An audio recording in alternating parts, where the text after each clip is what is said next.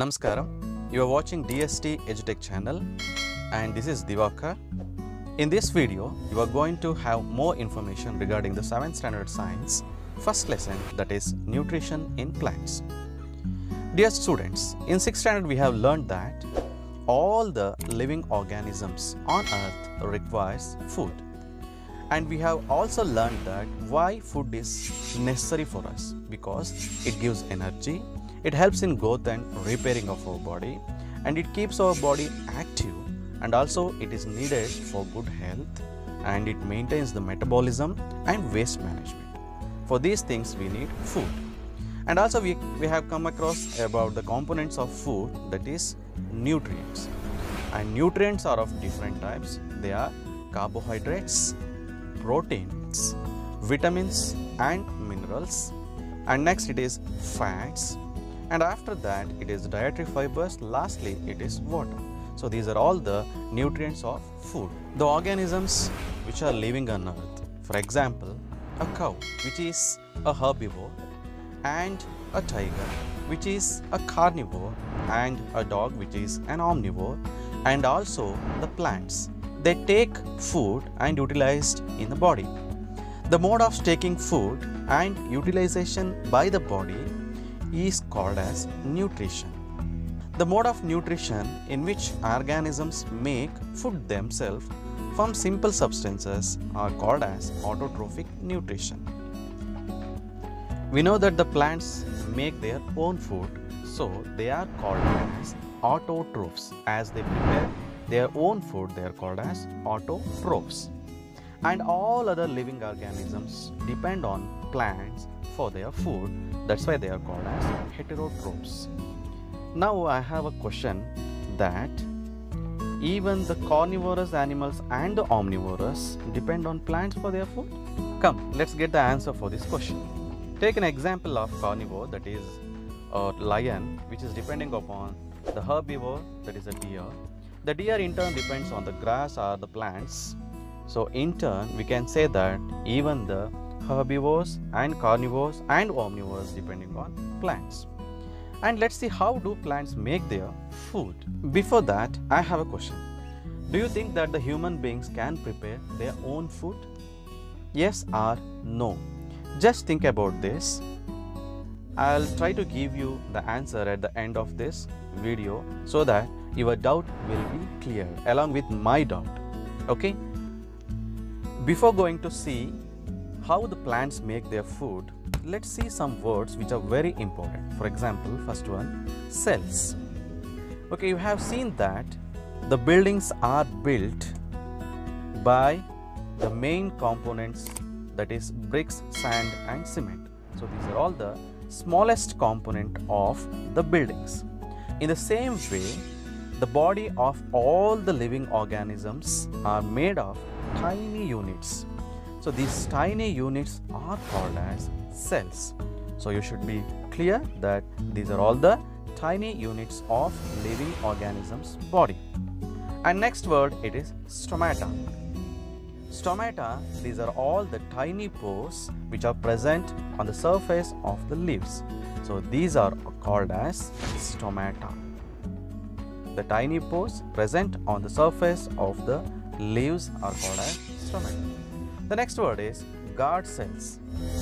So the guard cells are those cells which are surrounding the stomata. Next important word is chlorophyll you have come across this word in the 6th standard itself, isn't it? The green pigment which is present in the leaves is called as chlorophyll due to which all the leaves look green color. Okay, here you can see the cross section of leaves wherein the first marked part is chlorophyll, you can see it is in green color. And the next you can see it's a stomata which is opened. And next part you can see it's guard cells. And the last one you can see here it is vacuum. So these are all the parts of uh, leaves which we have just discussed and the next main thing is photosynthesis the process of synthesizing food by the plants is called as photosynthesis. Come, let's see how the process of photosynthesis takes place in plants. We know that the leaves are the food factories of plants. When the sunlight falls on these leaves, the energy which is present in the sunlight is captured and utilized in the process of photosynthesis. The chlorophyll which is present in the leaves capture or absorb the light energy from the sunlight and is used in the process of photosynthesis. So the main function of chlorophyll is absorbing the light energy. And after this, the pores which are present on the leaves, you know that the pores are called as stomata. These stomata absorb the carbon dioxide which is present in the atmosphere and utilized in the process of photosynthesis. So this is the second step of photosynthesis. And the third step is the roots of the plant absorb the water and minerals and these water and minerals are transported to leaves for the preparation of food. Okay, let's sum up all these steps again. When the sunlight falls on the leaves, the energy which is present in the sunlight is captured by the chlorophyll and after that the carbon dioxide which is present in the atmosphere is absorbed by the stomata. Next, water and minerals are absorbed by the roots and transferred to the leaves. By making use of all these things, leaves synthesizes carbohydrates and will be stored in the form of starch and oxygen released to atmosphere. Let's see this process in equation. We discussed that the carbon dioxide which is present in the atmosphere is absorbed by the stomata and after that the water and the minerals which is present in the earth will be absorbed by the roots of the plants in the presence of sunlight the energy is utilized by the chlorophyll. The food is synthesized in the form of carbohydrate and oxygen is released to atmosphere. So this is the process of photosynthesis. Why the name photosynthesis? Photo means light synthesis means to prepare. That's why this process is called as photosynthesis I asked you one question that human beings can prepare food. Is it possible or not possible? So the answer is not possible. Now you might know the answer because we don't have chlorophyll to absorb the light energy which will help in the preparation of food. But our skin can synthesize vitamin D. Now I have one more question that whether the photosynthesis takes place only in leaves or in some other parts of the plants? The answer is yes. You know why? Because even in green stem and green branches, photosynthesis takes place. You might have seen this plant which is showing now. This plant is called as cactus. Here the leaves are converted into spines, needle-like structure. So here the photosynthesis doesn't takes place. So the photosynthesis takes place in green stem. And in garden you might have seen so many leaves of different colors. Here the red, brown and yellow these colored pigments mask the green pigments so that these color will be highlighted but the green color will be there and there photosynthesis takes place. Do you think all the plants are autotrophs? We know that animals depend on other animals and plants for their food. In the same way, the plants also depend on other plants for their food. In the picture, you can see that a yellow colored, wiry branched plant which is called as cuscuta. In this cuscuta, chlorophyll is absent. So it grows by twining around the stem and branches of other plant and takes ready-made food from that plant. The plant which gives ready-made food to Cuscuta is called as host and the Cuscuta which derives ready-made food from the host is called as parasite. So this is the other type of nutrition which is called as parasitic nutrition. I have one more question. Are we, the human beings, and all the animals are a kind of parasites? Just think. Okay. Next, here you can see the plant. This type of plants eat insects as they don't get required nutrients from the soil where they grow. So these are called as insectivorous plants. For example, this is called as pitcher plant and the second one it is dew plant and the third one it is snap trap. These are all the example for insectivorous plants. You can see how they trap the insects in the video.